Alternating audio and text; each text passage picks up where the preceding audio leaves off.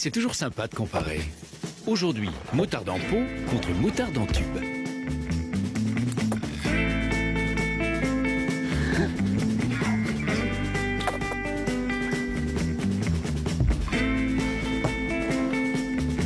Oui, c'est sympa de comparer. Mais comparer les prix, c'est sérieux. Avec l'appli mobile Qui est le moins cher, Leclerc vous donne les moyens de savoir qui est le moins cher près de chez vous, quand vous voulez. Alors, qui est le moins cher?